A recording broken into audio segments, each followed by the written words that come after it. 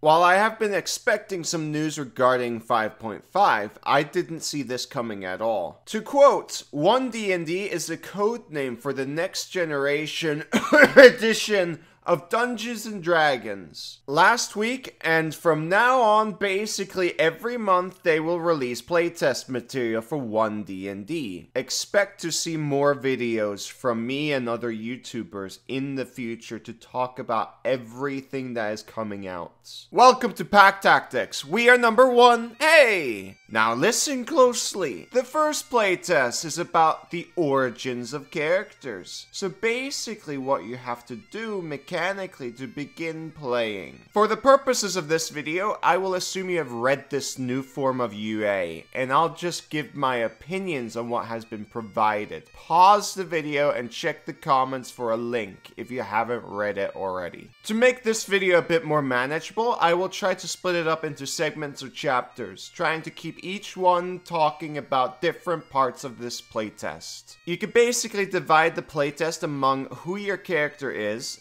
feats, and miscellaneous changes to the rules in the rules glossary. For the purposes of this playtest, the material mentioned uses the rules of the player handbook, except where it's stated otherwise. I believe in the end we will have a complete playtest. For now, you will be able to provide feedback almost every month. Surveys will be released around two weeks after each new playtest and will remain live for another two weeks. It's very important you give feedback this time if you care about this game. I'm gonna give feedback because I love this game. We'll start off with races, legacies, lineages, and backgrounds. We know lineages and legacies as sub-races currently. The currently provided races that should be familiar to you are human, dragonborn, dwarf, elf, gnome, halfling, orc, and tiefling. Additionally, they have showcased the Ardling, basically a counterpart to tiefling from the upper planes. I think some of you guys might like this one a lot for reasons. Yes, Gator, they are. Importantly, in this current iteration, races and backgrounds have changed in one big way. Ability score increases now no longer come from races, but instead backgrounds. If you ask me, this is only a logical continuation of the path Wizards of the Coast chose after Tasha's, basically making ability scores no longer tied to race through the customizing your origins optional rule. In my opinion, with how 5e's ability scores currently work, it makes sense to do away entirely with this limitation to players. And I'm very happy to see it's no longer an optional rule. It also makes sense to move it away from races as there really was no connection between the two things anymore. This also seems in line with Wizards of the Coast's claim to wanting to move away from races needing to follow a specific image of a setting. For example, orcs need to be strong, kobolds need to be weak.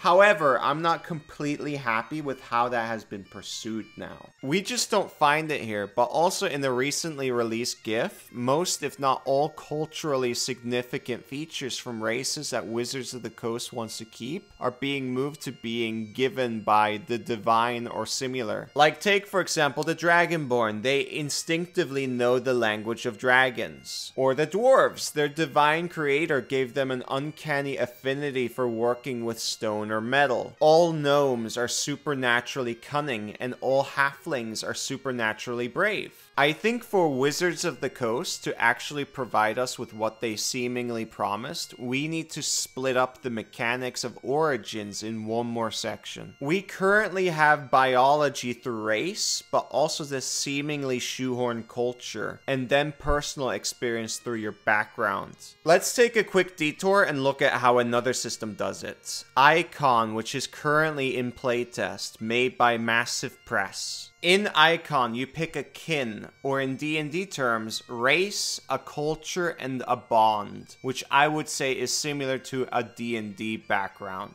I will now quote two sections which should paint a picture about how this all works in Icon. Collective peoples and folk of Icon are collectively referred to as kin. Kin have lived in Arden Eld since time immemorial. When you make a character, choose what kin type you are. There's no statistical or mechanical differences in game terms for whatever kin you pick.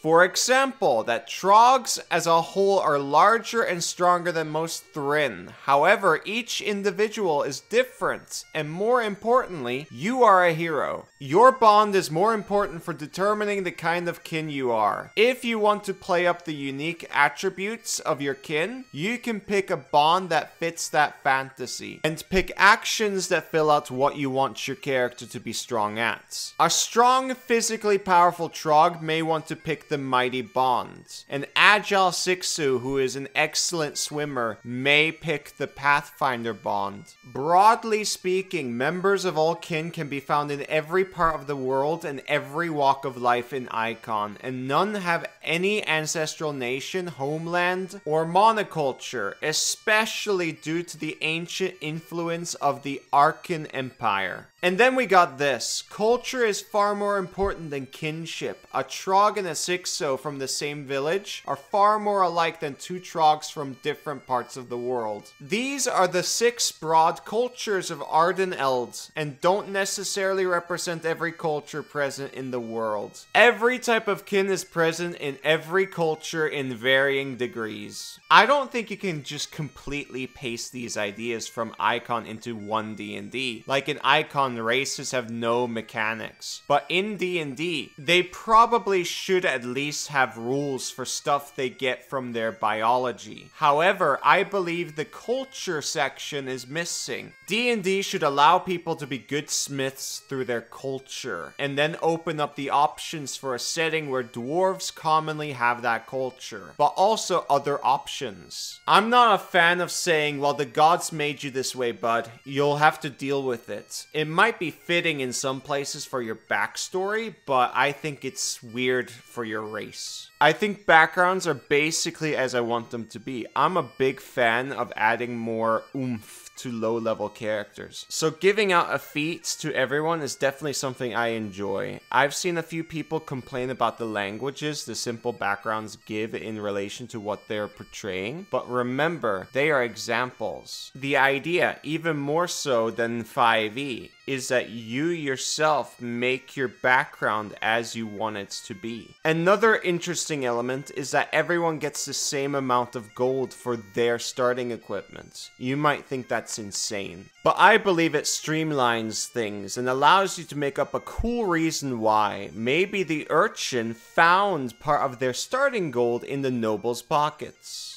If I had to complain about anything, it's that you cannot choose to go for two tool proficiencies or two languages instead of one of each, but it's not a big deal. Now for feats, I would go in a lot of detail if I didn't know this video would be so incredibly long already, but I'll just keep it short and sweet. I am of the opinion that the general idea of level granting feats can theoretically be fine. However, you need to know how options compare to one another. This playtest does not make me very hopeful, as the difference in power between the feats just at level 1 are immense. Just look at Magic Initiate, Lucky, and Alert and compare it to the others. That is not okay. None of the good martial feats are here at level 1. If there's no changes to martials that buff their damage capabilities, this is not good at all. This is the time to support the martials if you actually care about them. Finally, for the rules glossary, let's talk about the most controversial change of this playtest, the D20 test. I'll go through this step by step. A D20 test is an ability check, attack roll, or saving throw. I like that there's some guidance around when to ask for an ability check,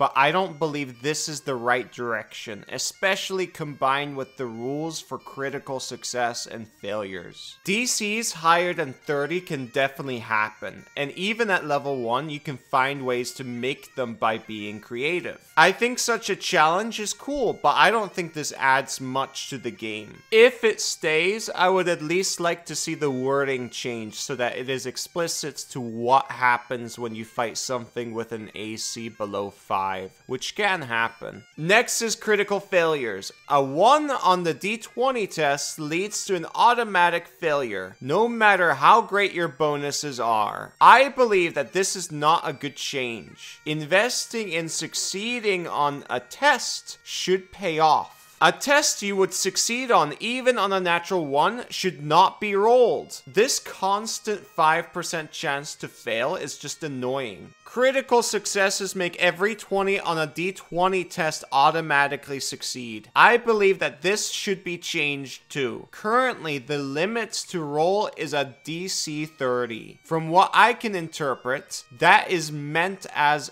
possible. However, when someone now asks to roll for such a check and they have a minus one to the roll, they still have a 5% chance to succeed. I really don't like this. I think this is so dumb. And it again makes investing in a test less useful. It feels very random in a way I don't like. This doesn't even get into the unclarity regarding what a success means for ability checks, like initiative or opposing ability checks. Maybe those rules have changed as well, but I don't know. I have seen positive feedback for critical successes for saving throws. I get the reason. The DCs for saving throws grow insanely quick, whereas without a paladin, the bonuses are almost stagnant for players. I agree that this sucks, especially with impossible to beat DCs at higher levels, but they could fix this by changing how your bonuses grow instead. All in all, I would like to see these parts of the rules changed, as currently this leads to people with a plus 14 modifier failing a DC 6 test, and people with a minus 1 modifier succeeding on a DC 30. To elaborate on what I would like to see, let's look at the Burning Wheel by Luke Crane. Here are just a few of the system agnostic, unambiguously good parts from its ability check rules. Before a check, the player must state their intent, what they want to happen on a success. The player must state a task, the means with which they want to fulfill the intent. The DM announces the consequences of failure in broad strokes before the dice are rolled. A failure complicates the situation, it is never nothing happens. They have something called Let It Ride. A player shall test once against a DC and shall not roll until conditions legitimately and drastically change. Neither DM nor player can call for a retest unless those conditions change. A DM cannot call for multiple rolls of the same ability to accomplish a player's stated intent. Nor can a player retest a failed roll simply because they failed. If there's nothing at stake or there's no reasonable consequence of failure that advances the story, the DM says yes or no, and the intent succeeds or fails automatically as appropriate to the situation. In other words, you could take a step forward in your bedroom. You do not know about the king's illness because he is not ill. Something I quickly skipped is the addition to how inspiration can be given. Every time you roll a natural 20, you get inspiration to a maximum of 1. I don't like this for many reasons. Number one, it's easily abusable. Currently, you could just smack the ground, run over caltrops, and stuff like that until you roll a 20. Number two, mechanics should incentivize certain behavior. You don't need to incentivize people to roll more in this game. In general, I think it's weird that they're seemingly moving away from being rewarded for role playing well, because it was too hard to remember. Well, again, take a look at how Burning Wheel does it, as it works better than just giving inspiration every 20 tests. Also, this is not the buff you believe it is for martials. It is a slight DPR increase, but if you do the math for it, it's quite laughable, especially if you take into account the martial feats that are missing from this playtest. Now for critical hits. The design idea here confuses me. First, they want to make saving throws, ability checks, and attack rolls as similar as they can so people don't get confused. But they made critical hits different for basically everyone. I think the changes to monster crits is fine mechanically, especially at low levels where PCs just went splat. But it sucks in play for a DM if the players get something on the natural 20, but they just have to reminisce about the old times. I think a better direction would be to buff the hit points of a player at level 1, so they don't just get one shot by any crits. For players, I think the rules are messy. A Warlock at level 20 loses 1.1 DPR due to this nerf with Eldritch Blast. It's inconsequential. It's barely a nerf. But then they seemingly removed smites and sneak attack doing crit damage. That is a gigantic hit to martials, and I hope they clarify what exactly they mean with the damage dice of a weapon. That nerf to martials actually worries me the most out of this playtest. Next, for the tools. I almost like their changes. Advantage on checks if you have proficiency in the tool, and fitting skill is also in Xanathars. But there, it's an optional rule. As for making the costs the same per category, it removes some realism. But ah. Uh, it doesn't matter too much. Next up, condition changes. Thank you, Wizards of the Coast. The incapacitated condition now includes the text, Your concentration is broken. This is not a mechanical change, but it used to be in a whole other chapter than the incapacitated condition. It was really annoying. I think the speechless part is fine too, but I'm not really sure about the surprised part. It seems fine, but I surely hope this is not replacing surprise, because because this is not the fix it needs. The slowed condition is a weird one. I expected it to be like the slow ability from a stone golem or Tash's mind whip, but it isn't. I have no idea what this will be used for exactly in the future, but I'm definitely not a fan that you get slowed when you move someone you have grappled now. Speaking of that, it's a bit weird that they say tiny or two size smaller. I think two size smaller is probably fine by itself. The way they changed how you escape is interesting. It makes strength saving throws a bit more useful. But I wonder, are there still reasons to pick up athletics and acrobatics proficiencies anymore? They used to kind of be attacks that your character needed to pick up to escape grapples. Without any other insight, I think the change to escape is probably a good one. Speaking of grappling, they have changed that too to be done through unarmored strike. On the one hand, I think it's an elegant change, but on the other, it has a few issues. Particularly at tables with high optimization builds, casting a big concentration spell and then dodging with high AC and the shield spell is a very, very strong strategy, as it becomes incredibly hard for you to be hit. One counter strategy to this is to grapple the caster, as they can no longer gain the benefit from dodge. But with this current change, you need to hit the caster as a DM before you can make them less harder to hit, which can definitely be a challenge. If they're nerfing caster sturdiness, I see this as a good change, but currently I feel as if it can lead to casters becoming even sturdier in play. Right now, it's a nerf to martials, not a boost. The casters got boosted here. But while we're at casters, let's talk about spells. There are now three main spell lists in the game, mainly arcane spells for artificers, bards, sorcerers, warlocks, and wizards, divine spells spells for clerics and paladins, and finally, primal spells for druids and rangers. In this playtest, we got to see the lists of cantrips and first level spells. How exactly these lists will be used is going to be explained in the future. In addition, you will be able to get spells from another list somehow, some way. I've got an overview of what spells are new for classes and what spells aren't found on spell lists, which classes originally got access to in the player's handbook. Don't freak out though, to quote the interview with Crawford upon release. Classes are going to use those lists, but classes are also going to have access to spells that go beyond those universal lists. Some have gained more spells than others, notably Wizard, who only got 4 extra spells so far. Not that there were many spells left to give. We can also see that Paladins and Rangers, who didn't have access to cantrips at all in the player handbook, do have access to them here. I don't know to what extent, but it is interesting. In general, this change leads to quite a lot of homogeneity. I am hopeful that the classes remain with some form of identity, as a lot of it gets removed this way. On the other hand, this should make things a bit easier for the player base, which is good. The last part of this UA I'll talk about is also the last part of a long day, a long rest. They changed the wording a tiny bit, and also the mechanics. To start, I'll say what I like.